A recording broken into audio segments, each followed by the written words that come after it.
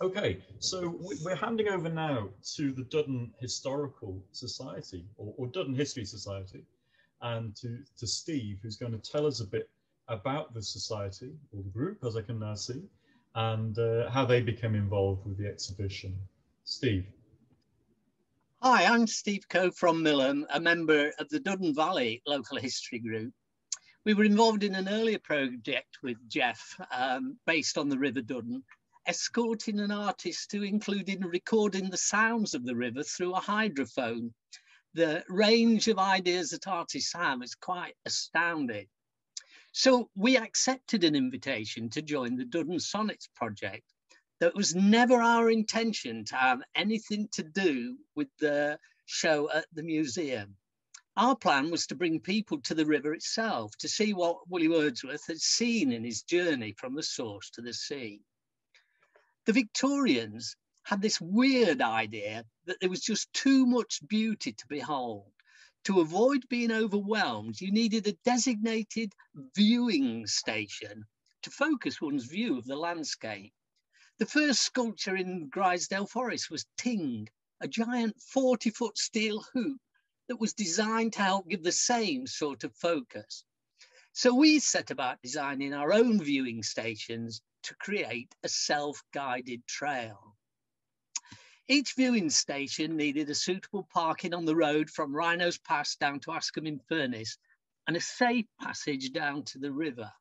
We planned on using signs at the roadside to identify starting points, which directed you to the riverbank itself, where a second sign would introduce the sonnet or an extract from a sonnet. On the return to the road, each marker would direct viewers to the next point upstream and the next point downstream, so the trail could be followed in either direction. With some difficulty, we managed to get permission for erecting temporary signage from the National Park, the National Trust, Forest England and local landowners. You can't imagine how difficult it is to pin somebody down to say it's okay to stick a signpost by the side of the road. We were going to reuse our signposts from our completed archaeological dig. Um, they were all cleaned up, ready to be used again.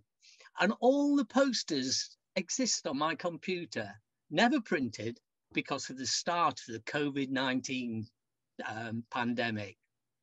Once things looked as if they might be possible, if only a year late, to celebrate 201 years of the sonnets, we decided to think again, but make an indoor trail that would save the same purpose, making visitors aware of our valley. The Duddon Valley has no lake, so it's off the normal tourist track. We don't get coaches. The river marks the ancient boundary between the northwest with Lancashire on the eastern side and the northeast with Old Cumberland on the western side before Cumbria arrived in 1974. And it's about to happen again, isn't it, when we have the reorganisation of West Cumbria and East Cumbria. Um, we missed an opportunity uh, with our map by not putting the river into its context in the whole of Cumbria and by not highlighting Norman Nicholson's link to the side of the estuary in Millom. Now, Ordnance survey maps are wonderful things if you want lots of details, but in order to focus on the river, we blanked out all but that thin blue line down the middle. The Duddon is unique in the lakes as it runs from the central mountains directly to its estuary and into the sea. We marked off each of the crossing points from narrow bridges, the railway viaduct, the main A595 to private estate bridges and included all the eight places where an adventurous soul can use stepping stones to cross from one side to the other and back again, which usually is needed when some of the party haven't followed the brave. Members were encouraged to let us know their favourite extracts from the sonnets, and these were then whittled down to give a spread from the north to the south and either side of the flow. Old photographs were collected and new ones taken to supplement the quote. It all looked fairly flat, until a small easel from a wedding visit inspired an uplifting idea that's made all the difference. You can see the pictures are just nicely stood up.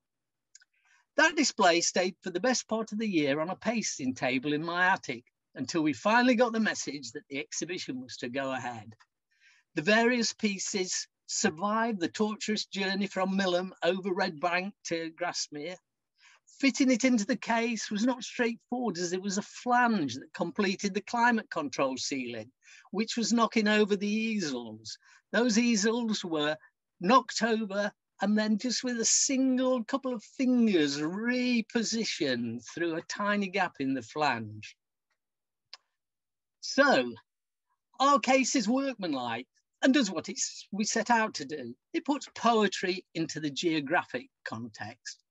Once it was sorted, we breathed a sigh of relief and ignored our case in order to look at all the fantastic textile work that the um, photos that the other contributors have created.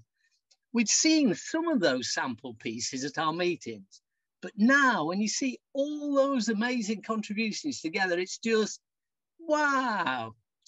I think sitting down and writing three dozen sonnets with a rook um, feather quill is a bit of a piece of cake compared to what we've now got hanging on the wall. So thanks to um, all of the other contributors that have made such a thing, I um, when when somebody said you wanted to touch them, I wanted to check if they got a little red sticker on or whether they were still for sale. So I don't know what will happen to them at the end of the um, exhibition, but if anybody's prepared to swap one of their textile pieces for our map of the Duddon, uh, please get in touch. So thank you. Thank you, Steve. That, that was fantastic. I think, wow, it's, it's probably the best comment we could ever have about this exhibition. It's often how I feel when I'm, I'm viewing it. I visited it a few weeks ago and, and I wanted to say wow as well. Um, so, you know, another great perspective on the River Duddon. It, it, really does alter our view of the landscape and the significance of this, of this wonderful river.